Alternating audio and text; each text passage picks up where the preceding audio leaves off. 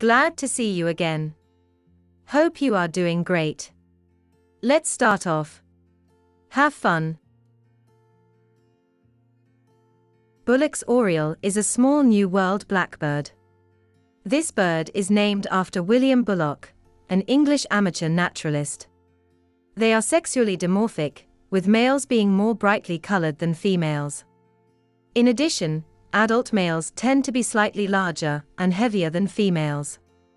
Adults have a pointed bill with a straight culmen. In adult males, the tail is long, square, and jet black. All exposed skin is black, as are the claws and bill, though the base of the lower mandible lightens to bluish gray.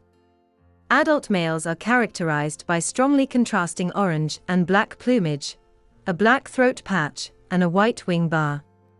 The underparts, breast, and face are orange or yellow, by contrast, the back, wings, and tail are black. A black line extends from each eye to the black crown. East birds forage in trees and shrubs, also making short flights to catch insects.